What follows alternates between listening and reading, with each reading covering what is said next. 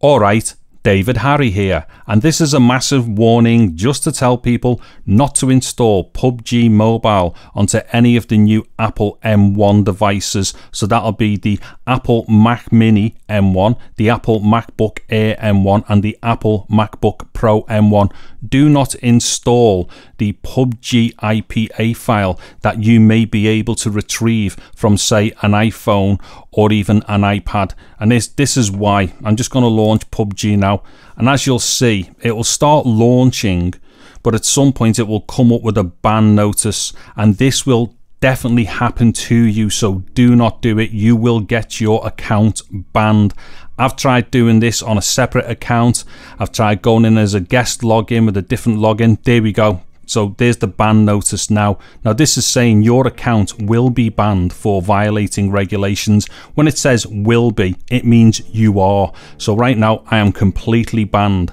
Like I was just saying, I've tried this under like my usual account and I got banned with that. And then I thought I'd be really clever about it. So what I done, I created a new login on my Mac Mini and then I went into PUBG as a guest.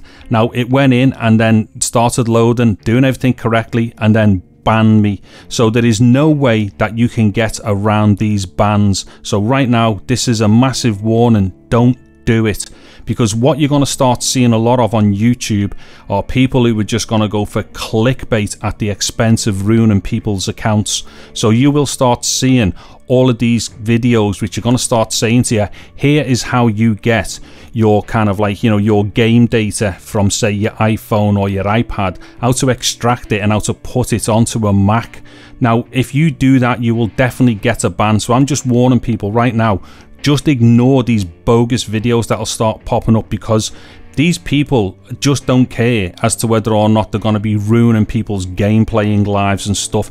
All they're going to be doing is clickbaiting and just getting people to get loads of hits on their videos and stuff. They don't care whether you get a ban, so just ignore any of those videos that you start seeing that are saying that type of stuff.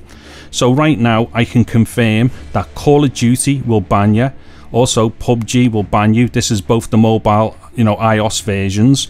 Also, as well, with Fortnite, you can do the same with that. You can extract the Fortnite installer or the IPA file from an iPhone or an iPad and put that then onto one of the new Macs. But the problem with that you may not necessarily get a ban straight away, but you can't play the games. It will boot you from the server immediately. Now, that could lead to a ban further down the line. It's just not even worth trying it out, honestly. Okay, so like I say, this video is just to warn people of all this stuff and to start ignoring the obvious crap that you're going to see with all these unscrupulous YouTubers who are going to start telling people how to do this. Now, at some point, it may well be the case that Call of Duty Mobile PUBG Mobile, and maybe even Fortnite Mobile, they may all be available at some point for the Mac M1 devices. If that is the case, they will be legitimate downloads from the Mac App Store, the way you would do anything on your M1 device right now. So if that is the case and that does happen, then that's brilliant. Then go ahead and do that. But right now, don't be copying the installers from other Apple devices and then putting them into your new M1 based device, you will simply get bans. Anyways, hopefully, you know, my experiences here will help other people to not get bans and what have you. So if this video has been helpful, please give it a thumbs up. Maybe consider subscribing to my channel. Maybe click on the bell notification icon for other videos and stuff in the future.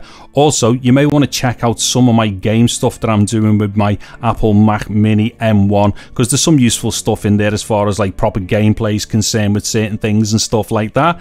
Anyways, I'm David Harry. Thank you very much for watching this video. Take care and goodbye now.